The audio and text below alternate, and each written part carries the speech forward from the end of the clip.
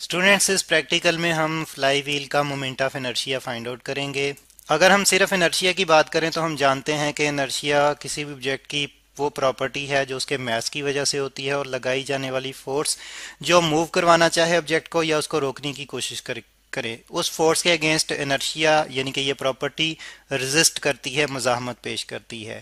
تو یہ انرشیا تب جو ہے وہ اپلائی ہوتا ہے یعنی کہ تب افیکٹو ہوتا ہے جب ہم صرف لینئر موشن کی بات کریں۔ یعنی کہ موشن لائن کے لانگ جو ہے وہ ہم سٹڈی کر رہے ہوں۔ لیکن اگر ہم کسی آبجیکٹ کو روٹیٹ کروا رہے ہوں تو روٹیشنل موشن میں فورس کی جگہ ٹارک لیتا ہے۔ تو انرشیا کی جگہ ہم مومنٹ آف انرشیا جو ہے وہ اس کا ذکر کرتے ہیں۔ تو اب ہم نے فلائی ویل کا مومنٹ آف انرشیا جو ہے کیلکولیٹ کرنا ہے۔ یہاں پہ مومنٹ آف انرشیا بھی اسی طرح سے ہی رول پلے کرتا ہے۔ ٹارک کے اگینسٹ یعنی کہ ریزسٹنس شو کرتا ہے۔ جس طرح سے انرشیا فورس کے اگینسٹ لینئر موشن میں ریپرزینٹ کرتا ہے۔ فرق یہ ہے کہ یہاں پہ لینئر موشن ہے اور یہاں پہ روٹیشنل موشن ہے۔ یہاں پہ فورس ہے تو یہاں پہ ٹارک ہے۔ یہاں پہ سمپل انرشیا ہے جو میس پہ ڈپینڈنٹ ہوگا تو یہاں پہ مومنٹ آف انرشیا ہے۔ جو میس پہ اور میس کے centre of axis of rotation سے ڈسٹینس پہ ڈپینڈنٹ ہوگا۔ مومنٹ آف انرشیا کے بارے میں ڈیٹیل میں ہم روٹیشنل ڈائنامکس کے چیپٹر میں بھی ڈسکس کر چکے ہیں۔ تو اب ہم ایکسپیریمنٹلی ایک فلائی ویل کا مومنٹ آف انرشیا کیلکولیٹ کریں گے یعنی کہ فائنڈ آؤٹ کریں گے ایکسپیریمنٹ کی مدد سے۔ تو ہم اپریٹس پہلے دیکھیں گے اس پریکٹیکل کو کرنے کے لیے جو ہمیں چاہیے ہوگا، پھر پروسیجر ڈسکس کریں گے میئرمنٹس لیں گے کیلکولیشنز کریں گے اور رزلٹ یعنی کہ moment of inertia find out کریں گے۔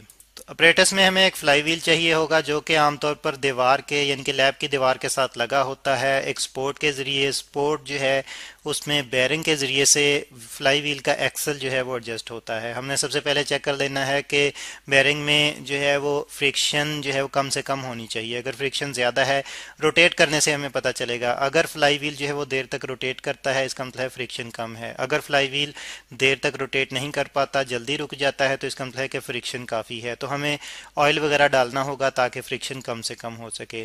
پھر ہم نے جو ہے وہ یہاں پہ فلائی ویل کی ڈسک کے اوپر ایک مارک لگا لگا لینا ہے چاک یا بورڈ مارکر کی مدد سے، جو کہ اس طرح سے لگانا ہے کہ مارک بالکل ہمارے سامنے ہو اور اسی کے ساتھ ہی یہاں پہ آپ کو ایک ہک بھی نظر آئے گا اس فلائی ایکسل کے اوپر لگا ہوا، تو یہ ہک بھی ہمارے بالکل سامنے ہو۔ اور اپریٹس میں ہم ورنیئر کیلیپرز بھی لیں گے جو یہاں پہ آپ دیکھ رہے ہیں۔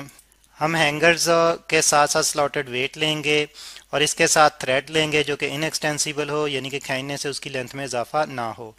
ہم میٹر رول لیں گے، جیسے کہ یہاں پہ آپ دیکھ رہے ہیں، اس کی مد، اس کی جگہ ہم میئرنگ ٹیپ بھی لے سکتے ہیں۔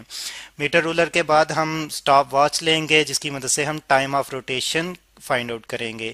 سب سے پہلے تو ہم نے آپ، اس فلائی ویل کے ایکسل کا ڈائمیٹر میئر کرنا ہے۔ ورنیئر کیلیپر کی مدد سے۔ ورنیئر کیلیپرز کی مدد سے ڈائمیٹر میئر کرنے کا طریقہ جو ہے وہ ہم الگ سے ایک پریکٹیکل میں ڈسکس کر چکے ہیں۔ اسی طرح سے آپ نے ڈائمیٹر میئر کرنا ہے۔ جب ڈائمیٹر میئر کر لیا تو اس کے بعد ہم نے فائنڈ آؤٹ کرنا ہے ریڈیس ایکسل کا۔ ایکسل کا ریڈیس فائنڈ آؤٹ کرنے کے لیے جو ڈائمیٹر ہمارے پاس آیا ہے، اس کو ٹو پہ ڈیوائڈ کرنا ہے۔ میرے پاس جو ڈائی میٹر کی ویلیو آ رہی تھی، اس کو میں نے ٹو پہ ڈیوائڈ کیا تو میرے پاس ریڈیس آ گیا ٹو سینٹی میٹر اور ایکسل کا جس کو میں نے اسمال آر سے ریپرزینٹ کیا ہوا ہے۔ اب اس کے بعد ہک میں ہم نے تھریڈ کے پیس کا ایک سرا یعنی کہ تھریڈ کا پیس لینا ہے، جس کا ایک سرا ایک اینڈ ہم نے ہینگر کے ہک کے ساتھ باندھنا ہے اور دوسرا سرا ہم نے یہاں پہ لگے ہوئے ایکسل پہ لگے ہوئے ہک کے میں پھنسا دینا ہے۔ اور تھریڈ کی لینتھ اتنی ہونی چاہیے کہ وہ ایکسل اور گراؤنڈ کی کے درمیان کی ہائٹ سے تھوڑی سی کم ہو۔ آپ اس اینیمیشن میں دیکھ رہے ہیں کہ میں نے ہینگر لٹکایا ہے اور یہاں پہ میں نے تھریڈ بھی جو ہے وہ یہاں پہ ہک کے ساتھ ایڈجسٹ کر دیا ہے۔ میں نے مارک کو بالکل اپنے سامنے رکھا ہے یعنی کہ ہک اور مارک جو ہے آپس میں ان لائن ہونی چاہیے۔ ہک بالکل نیچے کی طرف آ رہا ہے تو مارک جو ہے وہ یہاں پہ ہے۔ یہ چھوٹا سا ہک جو ہے وہ نظر آ رہا ہے۔ یہاں پہ یہ جو الگ سے آپ کو نظر آ رہا ہے، یہ کاؤنٹر ہے جو number of rotations of wheel جو ہے کاؤنٹ کرے گا۔ اگر کاؤنٹر نہ لگا ہو ویل کے ساتھ تو ہم نے کاؤنٹنگ خود سے خود سے روٹیشنز کاؤنٹ کرنی ہے۔ اس طرح سے کہ ہر دفعہ ایک روٹیشن کے بعد یہ جو مارک ہے، یہ ہمارے سامنے سے گزرے گا، تو اس کا مطلب ہے کہ ایک روٹیشن کمپلیٹ ہو جائے گی۔ پھر اگلی دفعہ گزرے گا تو دوسری روٹیشن کمپلیٹ ہو جائے گی۔ اب سب سے پہلے تو ہینگر میں، ہینگر کا اپنا میس اور ہینگر میں ڈالا گیا۔ میس جو ہے وہ ہم نے نوٹ کرنا ہے اپنے پاس۔ اور اس کے ساتھ ساتھ ہم نے یہاں پہ تھریڈ کو ٹرنز دینے ہیں۔ اور نمبر آف ٹرنز جو ہم نے دینے ہیں، وہ بھی ہم نے فکس اماؤنٹ میں دینے ہیں۔ ان کو بھی ہم نے نوٹ کرنا ہے۔ آپ دیکھ رہے ہیں میں نے میس ہینگر میں ڈالا جو تھا وہ ہنڈریڈ گرام تھا، ہینگر میں ڈالا گیا پلس ہینگر کا اپنا میس۔ نمبر آف ٹرنز جو میں نے تھریڈ کو دیے تھے دیے ہیں ایکسل پہ وہ ٹین ہیں۔ اور آپ دیکھ رہے ہیں کہ یہاں پہ نمبر آف ٹرنز جو ہیں میں نے دیے ہیں۔ نمبر آف ٹرنز دیتے وقت اس بات کا خیال رکھنا ہے کہ ٹرنز ایک دوسرے کے اوپر اوور لیپ نہ کریں یعنی کہ دھاگا دھاگے کے اوپر نہ آئے، بلکہ ایکسل کے اوپر ہر ٹرن الگ سے آئے۔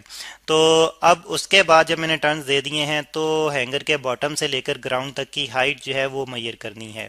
تو آپ دیکھ رہے ہیں، میں نے میٹر رولر کو رکھتے ہوئے اس طرح سے ورٹیکلی میں نے ہینگر کے باٹم سے لے کر یہاں تک کی ہائٹ جو ہے وہ نوٹ کی ہے۔ جو کہ میرے پاس آ رہی تھی سیونٹی سینٹی میٹر میں نے ٹیبل میں نوٹ کر لی ہے۔ پہلے والے سارے عمل کے دوران ہم نے ابھی تک فلائی ویل کو روٹیٹ نہیں ہونے دیا۔ فلائی ویل روٹیٹ کیسے کرے گا؟ ہینگر میں ڈالا گیا میس جو ہے وہ نیچے کی طرف اپنے ویٹ کی وجہ سے فورس لگائے گا، تھریڈ پہ تھریڈ فورس لگائے گا ایکسل پہ۔ ایکسل روٹیٹ کرے گا تو اسی وجہ سے فلائی ویل روٹیٹ کرے گا۔ اور اس بات کا خیال رکھنا ہے اسٹوڈنٹس کے، ہینگر میں میس کم سے کم اتنا ہونا چاہیے اور اس کے ساتھ ساتھ یہاں پہ نمبر آف ٹرنز کم سے کم کم اتنے ہونے چاہیے جو اس فلائی ویل کو ایک خاص حد تک اینگولر ویلوسٹی دے سکیں تاکہ یہ پراپرلی روٹیٹ کر پائے۔ اور جب ہم نے ہائٹ میئر کر لی ہے ہینگر میں ڈالا گیا میس اور ہینگر کا اپنا میس ٹوٹل یعنی کہ میس جو لٹک رہا ہے یہاں پہ وہ نوٹ کر لیے ہے نمبر آف ٹرنز جو ہیں ہم نے نوٹ کر لیے ہیں۔ اس کے بعد ہم نے فلائی ویل کو فریلی چھوڑنا ہے۔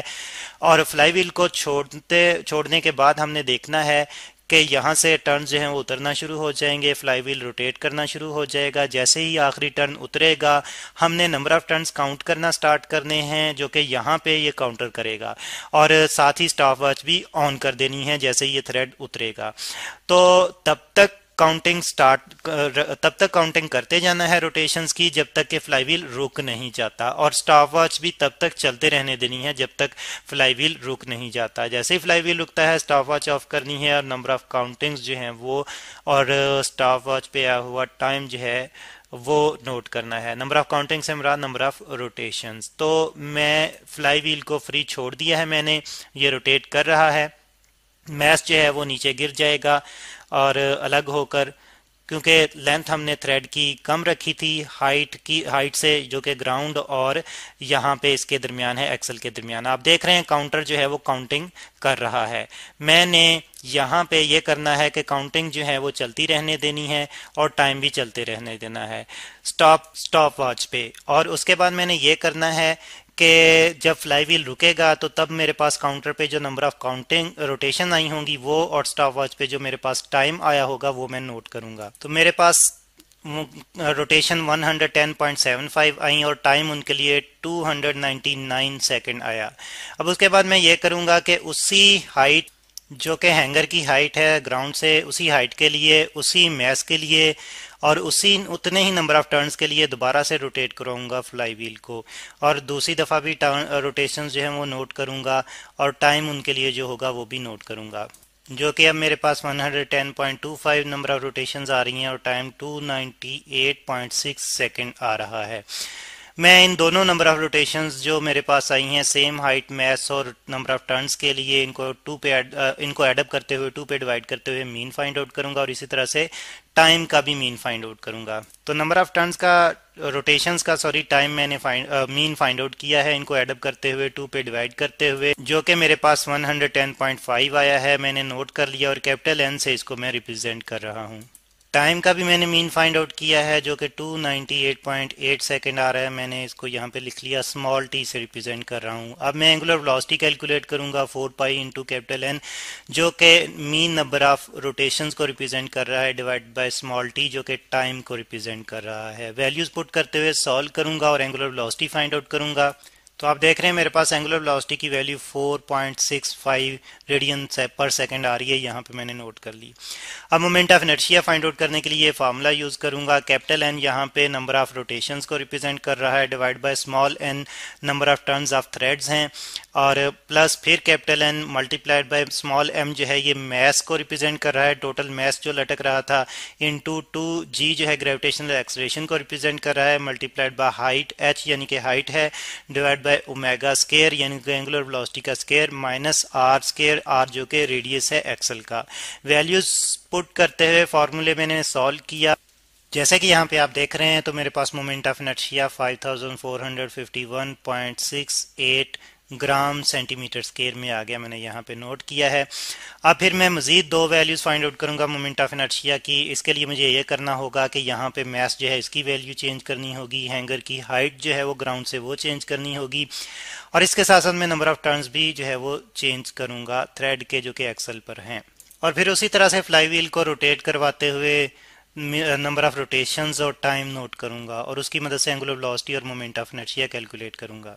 آپ دیکھ رہے ہیں میں نے مزید مومنٹ آف انرشیا کی دو ویلیوز جو ہیں وہ کیلکولیٹ کر لی ہیں۔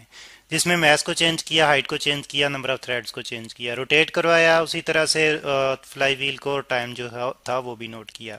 اب اس کے بعد میں ان تینوں ویلیوز کا ایوریج فائنڈ آؤٹ کروں گا۔ ایوریج فائنڈ کرنے کے لیے میں نے تینوں ویلیوز کو ایڈ کیا 3 پہ ڈیوائڈ کیا تو میرے پاس average moment of inertia 5450.43 gram centimetre square میں آ رہا ہے۔ تو اس طرح سے اسٹوڈنٹس ہم نے پریکٹیکلی فلائی ویل کا moment of inertia find out کر لیا۔